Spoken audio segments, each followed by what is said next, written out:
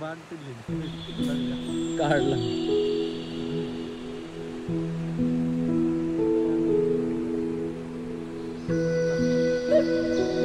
तू सही कह रहा हो, टूट गए, रात का वो डरते।